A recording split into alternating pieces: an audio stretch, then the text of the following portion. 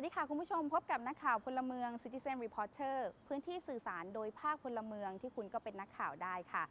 นักข่าวพลเมืองวันนี้ คุณอาริยาติวสุรเดชและคุณมนตรีจันทวงศ์จากมูลนิธิฟื้นฟูชีวิตและธรรมชาติ เดินทางไปที่หมู่บ้านอันแตง เขตพลืนในเมืองเย ซึ่งเป็นเมืองท่าสำคัญทางตอนใต้ในรัฐมอญประเทศเมียนมาค่ะทั้งสองคนขึ้นไปสำรวจสวนหมากในหมู่บ้าน ซึ่งอยู่บนภูเขาพลืนค่ะ สวนแห่งนี้จะมีความอุดมสมบูรณ์แค่ไหน เราไปติดตามจากคลิปวิดีโอที่ทั้งสองคนส่งมาค่ะ ก่อนที่เราจะไปถึงปลายทางหมากนะครับ วันนี้ผมจะพามาดูใต้ทางหมากซะก่อนนะฮะว่าใต้ทางหมากนี่มีอะไรบ้าง ตามเส้นทางนี้นะครับ เดี๋ยวเราไปกันครับ ณจุดที่ผมยืนอยู่ตรงนี้ เราอาจจะยืนอยู่โคนต้นหมากต้นหนึ่งแต่ว่า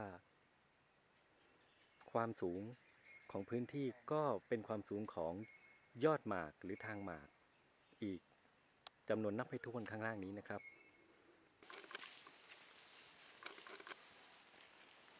ในสวนหมากของ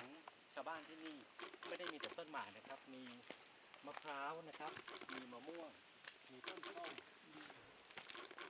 มีเอ่อส้มโอนะฮะและสิ่งที่สำคัญที่สุดของการตามหา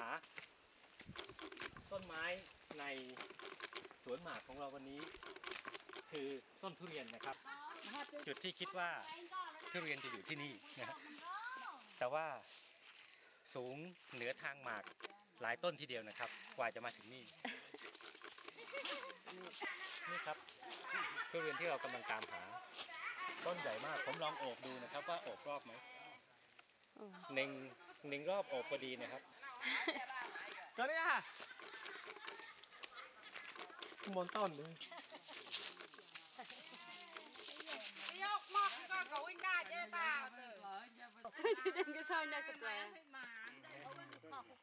ผมจะทดลองดูนะครับว่ารสชาติอร่อยลองแค่ไหนลองนะดูทุกลูกเลยนะครับ ทุกคนกำลังมองดูนะครับว่าผลนี้อร่อยแค่ไหนนะครับแต่มันก็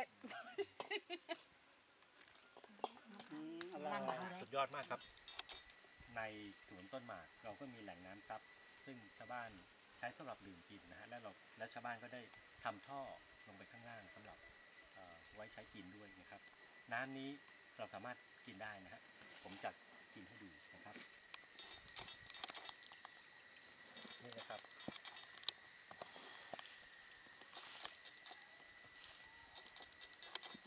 น้ำนี้สะอาดแน่นอนปราศจากสารเคมีเพราะว่า สวนทุเรียนสวนหมากที่นี่ไม่ได้ใช้สารเคมีใดๆนะเป็นน้ำซับที่มาจากธรรมชาติจริงๆนี่คือความงดงามความสะอาดของธรรมชาติที่นี่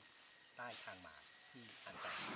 ถึงแม้ว่าอาชีพหลักของคนที่นี่จะเป็นการทำสวนหมากค่ะ แต่ว่าบนภูเขาพลืนยังเต็มไปด้วยผลไม้หลายชนิด ซึ่งเป็นทั้งรายได้ แล้วก็อาหารของคนในชุมชน แต่ขณะนี้เริ่มมีการพูดคุยกันถึงผลกระทบที่อาจเกิดขึ้นต่อทรัพยากรธรรมชาติ แล้วก็ชุมชน เนื่องจากพื้นที่นี้ถูกประกาศให้เป็นพื้นที่ก่อสร้างโรงไฟฟ้าถ่านหิน ขนาด